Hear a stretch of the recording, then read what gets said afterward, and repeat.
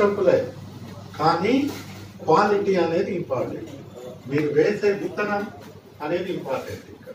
దాన్ని మంచి విత్తనాన్ని మీరు సెలెక్ట్ చేసుకొని మీరు ఇది పండించుకొని ఆ చొప్పని మీరు ఫీడ్ చేసుకుంటే ఆవులకి అధిక పాలు ఉత్పత్తి పొందేదానికి అవకాశం ఉంది. చిన్న ఎగ్జాంపుల్ చెప్తాను ఒక హెక్టార్ నుంచి ఒక దాంట్లో ఏమో నలభై ఐదు శాతం జీర్ణమయ పదార్థాలు ఉన్నాయనుకున్నాం ఇంకో హెక్టార్లో మీరు వేసే జొన్న చొప్ప సేమ్ జొన్న చొప్ప నలభై ఎనిమిది శాతం దాంట్లో జీర్ణమయ్యే పదార్థాలు ఉందా ఉన్నాయి అనుకుందాం. ఇది అమ్మితే మీకు మార్కెట్లో ఒక హెక్టార్ నుంచి నాలుగు టన్నుల నుంచి ఐదు టన్నుల వరకు జొన్న చొప్ప వస్తుంది. ఇది మార్కెట్లో అమ్మితే